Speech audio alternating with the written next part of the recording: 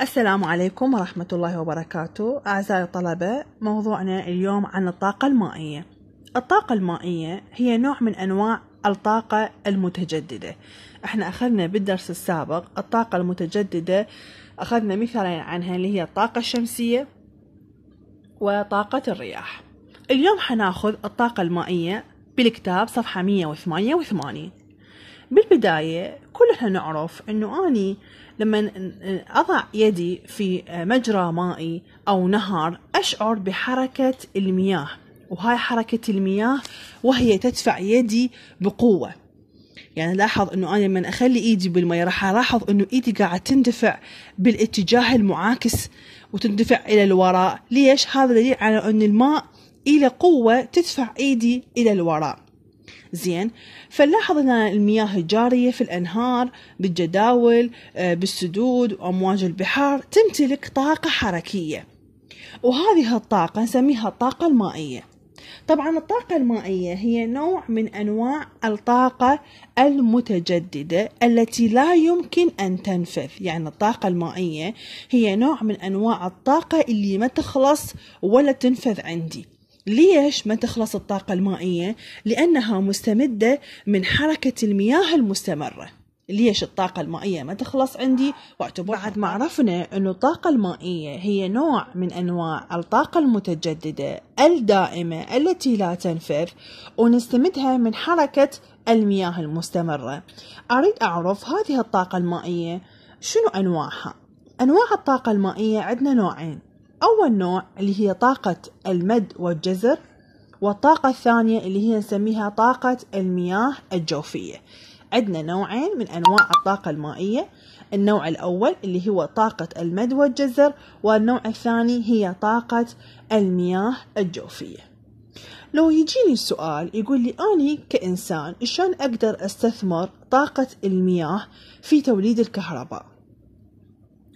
أقدر أستثمر طاقة المياه بتوليد الكهرباء في آه، عمل آه، آه، عمل توربينات. هذه التوربينات اللي هي تعمل على تشغيل المولدات الكهربائية وتعطينا كهرباء.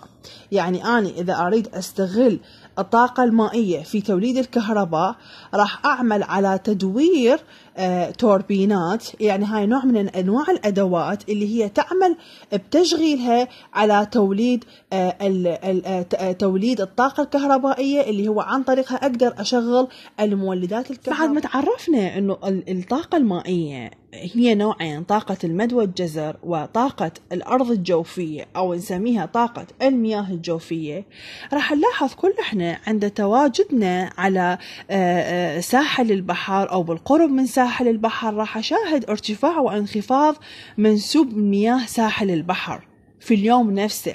يعني أني وكل إحنا رايحين على ساحل البحر وشايفين إنه أني من انقف على ساحل البحر آه، وبالقرب من ساحل البحر راح ألاحظ إنه منسوب المياه مرة يرتفع ومرة ينخفض. بنفس اليوم شنو سبب هذا الارتفاع وهذا الانخفاض؟ سببه هو أنه مياه البحار والمحيطات تتأثر بجاذبية الشمس والقمر. مياه البحار والمحيطات تتأثر بجاذبية الشمس والقمر.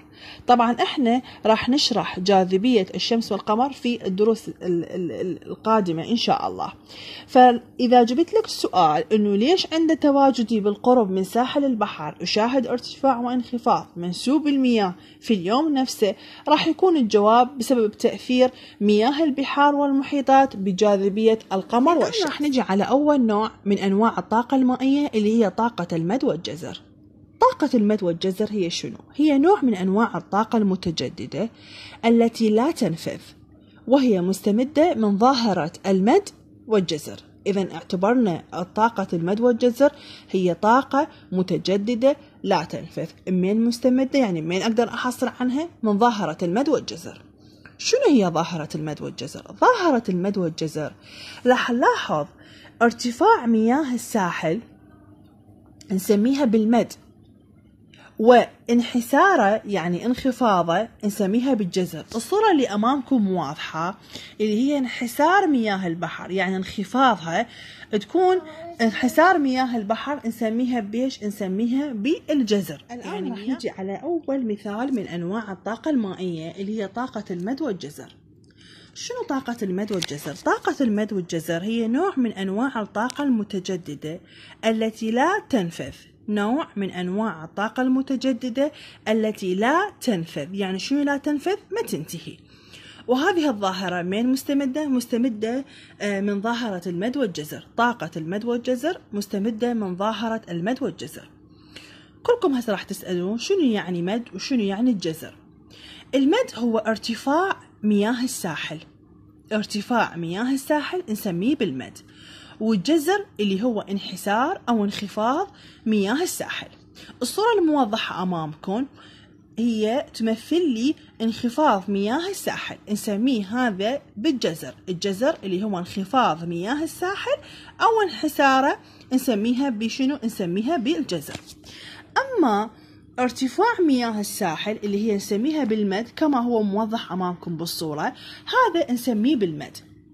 راح نريد نعرف إنه الإنسان شلون استثمر ارتفاع وانخفاض مياه الساحل في توليد الطاقة. نريد نعرف إنه الإنسان شلون استثمر ظاهرة المد والجزر في توليد الطاقة الكهربائية. أول شيء قام الإنسان بإنشاء السدود.